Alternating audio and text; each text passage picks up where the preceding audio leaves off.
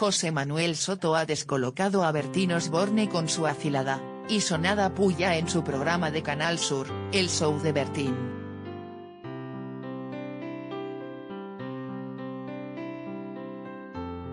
El cantante José Manuel Soto fue el pasado viernes 1 de julio el último invitado de Bertín Osborne en su programa de Canal Sur, El Show de Bertín, cerrando con él la segunda temporada del formato.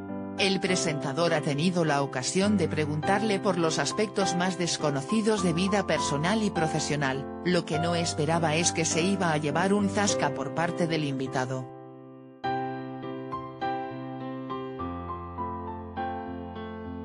Durante su entrevista, José Manuel Soto ha empezado hablando de su relación con la música.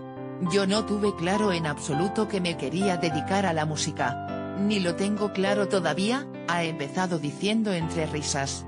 Y ha proseguido, me gustan los viajes, los caballos, el deporte, el mar, la música me gusta mucho. Me ha servido para darme a conocer, y entrar en el corazón de mucha gente, pero no ha sido toda mi vida.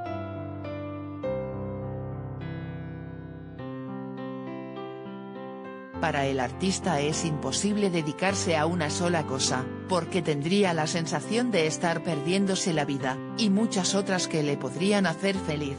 La vida es tan amplia, es tan bonita, la vida tiene tantas cosas que dedicarse a una sola cosa no lo sé, me cuesta, ha confesado ante Bertín Osborne.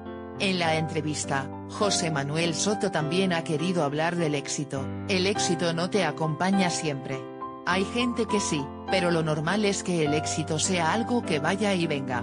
Si tú te obsesionas con el éxito y de golpe lo pierdes sufres muchísimo.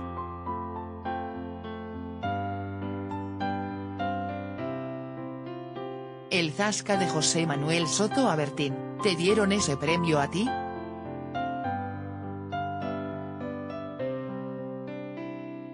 Pero el momento más surrealista de la noche ha llegado con un dardo que le ha lanzado José Manuel Soto a Bertín Osborne en plena entrevista. Ambos estaban hablando de los premios que más ilusión les había hecho recibir. ¿Sabes el que me hizo mucha ilusión? El de la mejor voz del Festival de San Remo, en Italia, explicaba Bertín Osborne.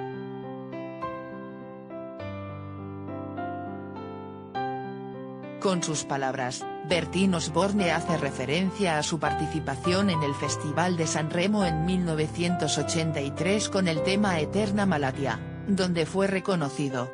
Lo que no esperaba el presentador era la respuesta del invitado, que incrédulo se sorprendía y le lanzaba un sonado zasca, que le dejaba completamente descolocado, ¿te dieron ese premio a ti?.